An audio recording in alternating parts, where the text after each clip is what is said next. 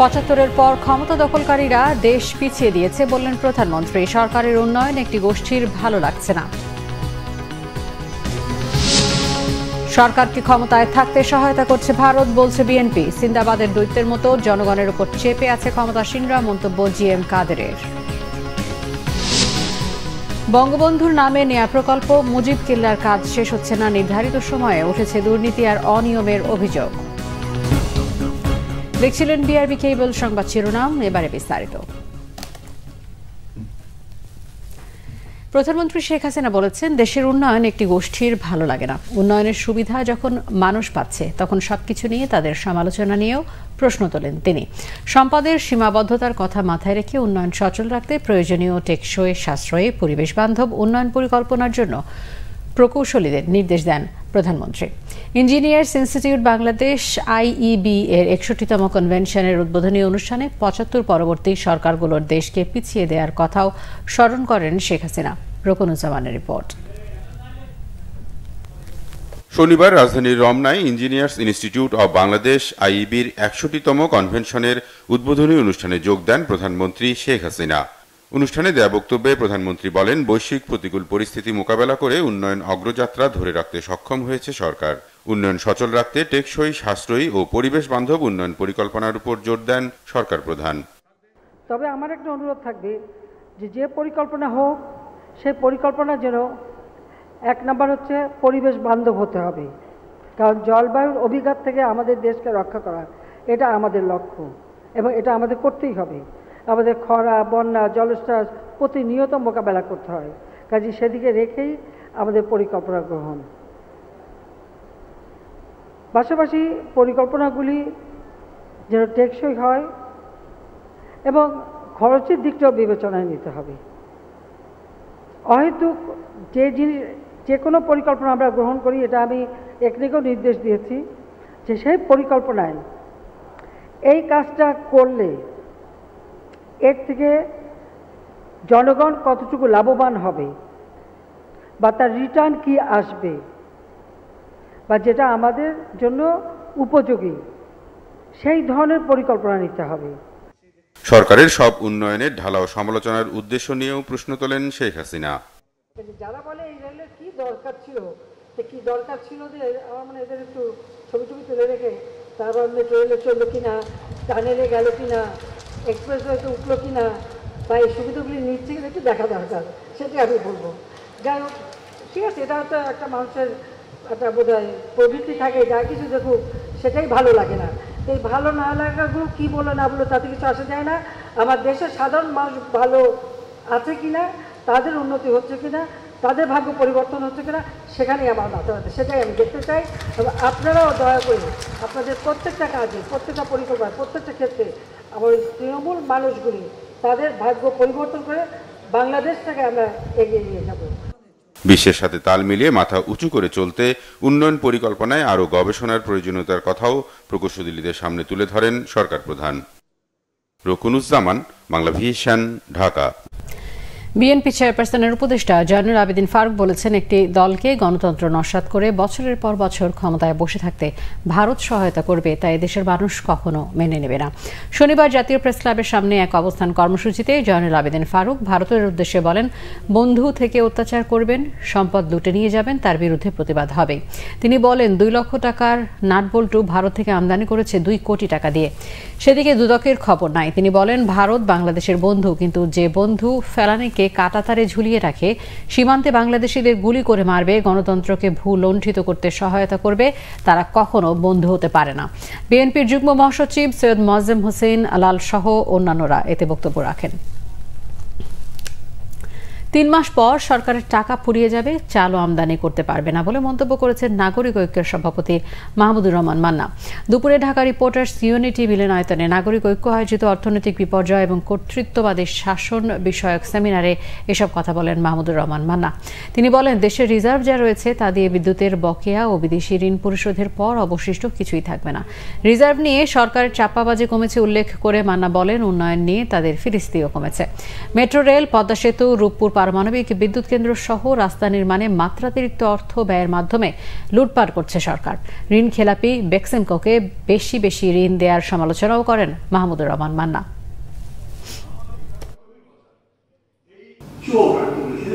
মানে আমাদের আজকে অর্থনীতির যে বিপর্যয় বিপর্যয় মানে কি?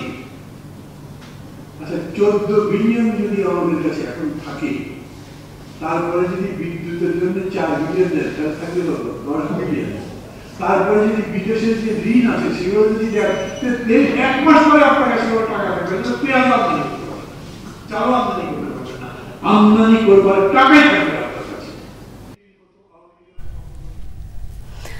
সিন্দাবাদের দৈত্যের মতো জনগণের উপর চেপে বসে আছে বলেছেন জাতীয় পার্টির চেয়ারম্যান জি এম কাদের। দলের মহানগর উত্তরের মত বিনিময় সভায় তিনি কথা বলেন।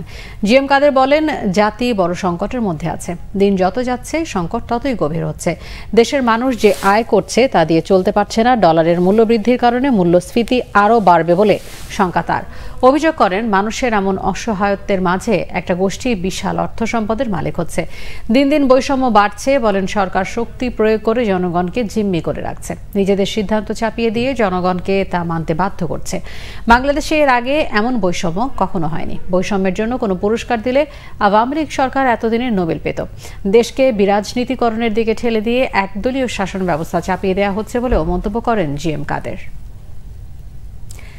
বঙ্গবন্ধু শেখ মুজিবুর রহমানের নামে নির্মাণ হওয়া মুজিব কিল্লা প্রকল্পে অর্থ লুটপাট দু হাজার একুশ বাইশ অর্থ বছরের অডিটে উঠে এসেছে এমন তথ্য।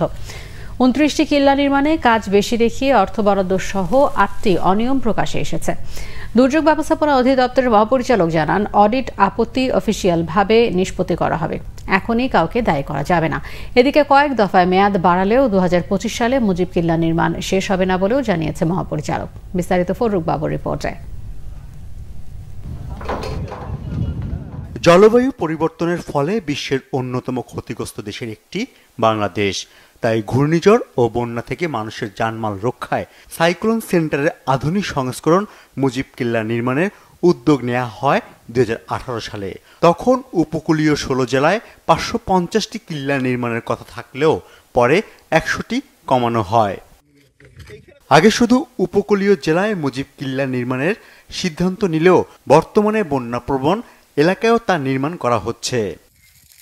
এদিকে জাতির পিতার নামে নির্মাণ হওয়া এ প্রকল্পে নানা অনিয়মের চিত্র দেখিয়েছে অডিট অধিদপ্তর।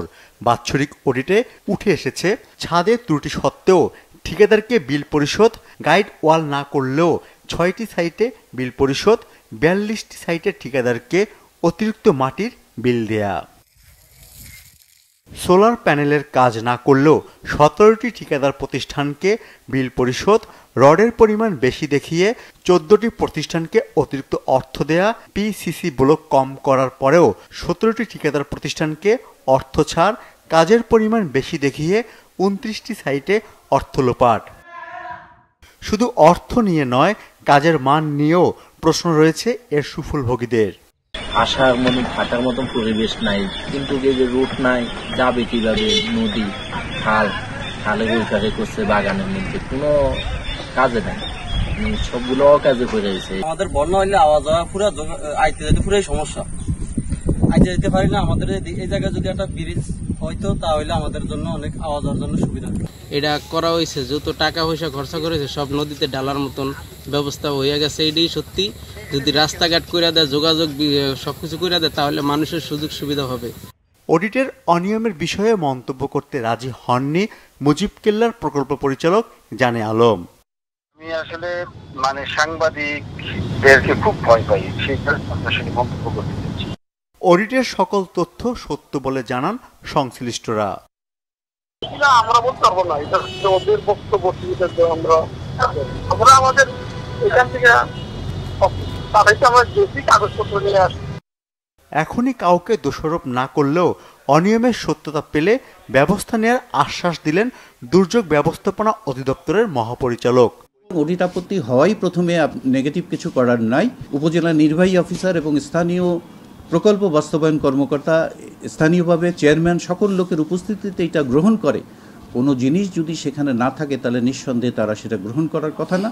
ব্যাটারি আছে কিনা সোলার প্যানেল আছে কিনা, এবং লাইটনিং অ্যারেস্টার আছে কি না এগুলো না দেখে তারা গ্রহণ করেনি। যদি এরকম কোনো রিপোর্ট থাকে, তাহলে অবশ্যই যে কর্মকর্তারা এর জন্য দায় দায়িত্ববান, আমি তাদের বিরুদ্ধে ব্যবস্থা নিব।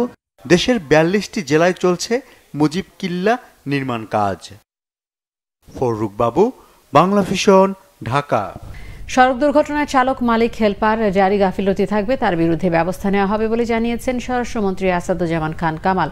রাজধানীর শিল্পকলা একাডেমিতে নিরাপদ সড়ক চাই এর দশতম মহাসমাবেশে তিনি কথা জানান। স্বরাষ্ট্রমন্ত্রী বলেন, অদক্ষ চালক, ফিটনেসবিহীন গাড়ি, চলন্ত অবস্থায় চালকদের মোবাইল ফোন ব্যবহার ও কিছু ক্ষেত্রে ট্রাফিক পুলিশের গাফিলতির কারণে এই সড়ক দুর্ঘটনার কারণ হিসেবে দেখা হচ্ছে। দুর্ঘটনায় প্রতিদিন সড়কে অন্তত চোদ্দ জন প্রাণ হারাচ্ছেন। জানিয়ে মন্ত্রী বলেন, দুর্ঘটনা প্রতিরোধে কয়েকটি কারণ চিহ্নিত করা হয়েছে। মন্ত্রী বলেন, সড়ক দুর্ঘটনা রোধে সরকারের সতেরোটি নির্দেশনা বাস্তবায়ন হলে দুর্ঘটনা অনেকটাই কমে আসবে। দুর্যোগ ও ত্রাণ প্রতিমন্ত্রী মেহবুর রহমান জানিয়েছেন, তাপদাহে বজ্রপাতে মারা যাওয়াদের তার মন্ত্রণালয় তালিকা রাখছে এবং তাদের পরিবারকে আর্থিক সহযোগিতাও করছে। বিশ থেকে পঁচিশ হাজার টাকা তাদের পরিবারকে দেয়া হচ্ছে বলে জানান প্রতিমন্ত্রী। সকালে বিএফডিসিতে এক বিতর্ক প্রতিযোগিতায় প্রধান অতিথির বক্তব্যে তিনি এসব তথ্য জানান। অতি তাপমাত্রা দুর্যোগের মধ্যে পড়ে বলেও মত মহিবুর রহমানের। তাপদাহে খেটে খাওয়া মানুষ যারা কাজ করতে পারেনি তাদের সহযোগিতা করা হবে বলেও মত প্রতিমন্ত্রীর এ সময় তিনি মন্তব্য করেন, সিটি কর্পোরেশনের জল কামান দিয়ে পানি ছেটানো নিয়ে। বলেন, ততটা কার্যকরী না এই পদ্ধতিটি। সিটি কর্পোরেশনের আরও উন্নত চিন্তা করতে হবে। দুর্যোগে ক্ষতিগ্রস্তদের পূর্ণাঙ্গ তালিকা করে গণমাধ্যমে প্রকাশের দাবি করেন। ডিবেট ফর ডেমোক্রেসির চেয়ারম্যান হাসান আহমেদ চৌধুরী কিরণ।